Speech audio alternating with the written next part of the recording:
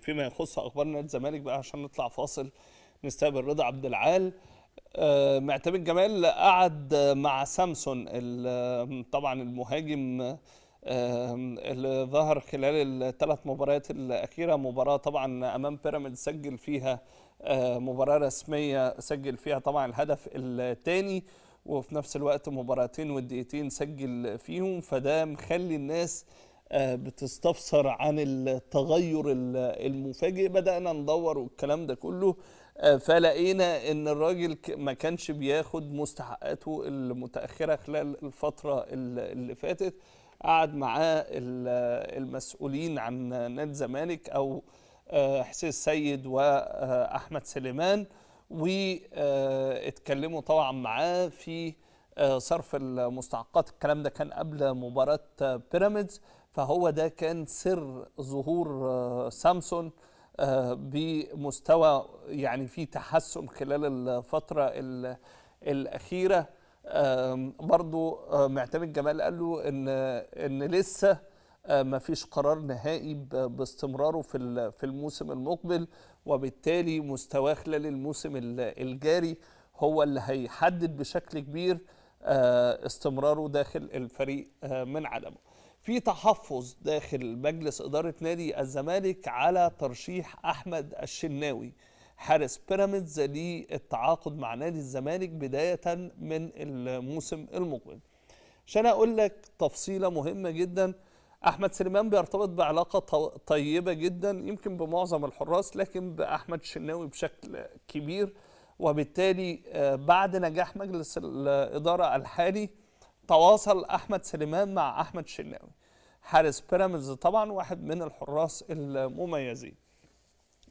لكن في آه، تحفظ كبير من بعض المسؤولين داخل مجلس إدارة نادي الزمالك على التعاقد مع أحمد الشناوي وبالتالي وجهة نظر البعض أن يتم التجديد لمحمد عواد آه، حارس طبعا الزمالك.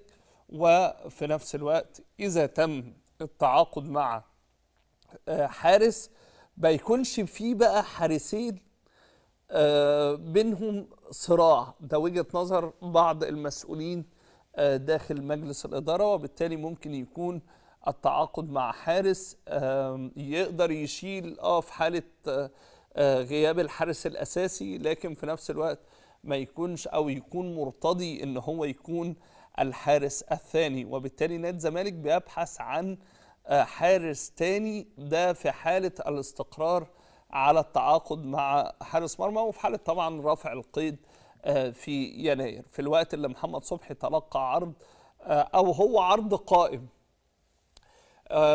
من نادي فاركو. لأن محمد صبحي بيرتبط بعلاقة قوية جدا مع المسؤولين في نادي فاركو. وبالتالي آه، هو عرض مستمر.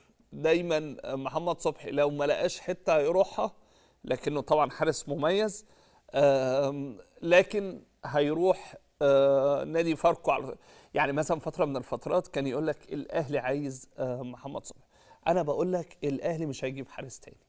يعني الأهلي في الفترة الحالية بعد رحيل علي لطفي آه، إلى نادي زد الأهلي لن يتعاقد مع حارس آخر. في ظل وجود محمد الشناوي والحارس الثاني مصطفى آه، شوبير. وبالتالي مش هيجيب آه، المسؤولين في النادي الأهلي. وأنا بقول لك كلام من مسؤولين تاني من مسؤولين. مش مش كلام يعني كده وخلاص. إن مش هيتم التعاقد مع حارس زي محمد صبحي مثلا آه، كان حارس أساسي آه، في الزمالك أو هو بيكون أو كان حارس أساسي آه، في فاركو فمش هيعمل الأزمة ديت. فبالتالي التوجه آه، إن يكون في حارس أساسي في الأهلي أو في الزمالك محمد الشناوي وعنده مصطفى الشوبير يقدر يشيل حارس آه، واعد فبيعمل حارس جديد آه، للنادي الأهلي اللي هو مصطفى الشوبير نفس الأمر بيفكر نادي الزمالك ومن هنا جاء التحفظ على التعاقد مع أحمد الشناوي. لا يزال وكنت قلت لك خبر قبل كده وبأكد عليه وهفضل أكد عليه. لا يزال مصطفى فتحي نجم نادي بيراميدز ونجم المنتخب الوطني ينتظر عرض رسمي وجاد من نادي الزمالك للعودة لرغبته في إنهاء مشواره الكروي داخل نادي الزمالك.